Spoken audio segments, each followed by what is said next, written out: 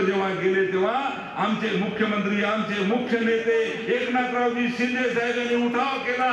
त्या उठावामध्ये आम्ही सर्वजण सोबत त्यांच्या होतो. आणि मग ही संधी पाहून पाच पक्ष फिरून संजय देशमुख आतापर्यंत होते सहाव्या पक्षात उभाट्यामध्ये गेले.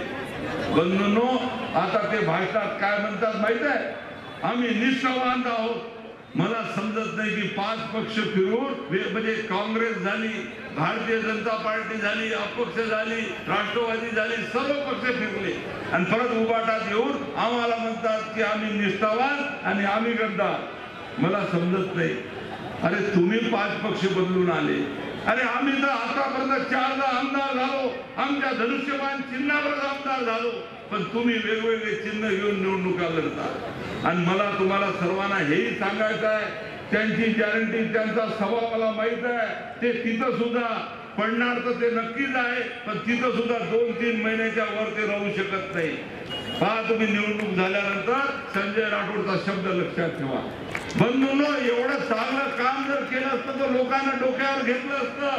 दिग्रस दारात ते दहा वर्ष आमदार होते. आमदारकीच्या काळामध्ये एक काम ते चांगलं केलं असं दाखवू शकत नाही. त्यांनी जनतेचा विकास केला नाही स्वतःचा विकास केला. दीडशे संस्था त्यांच्याकडे आहे वेगवेगळ्या दीडशे संस्था. डोनेशन दिल्याशिवाय कोणाला तिथं नोकरीची संधी नाही किंवा त्या डोनेशन दिल्याशिवाय प्रवेश त्यांच्या शाळेत मिळत नाही. बंधून एक उदाहरण तुम्हाला मी सांगतो.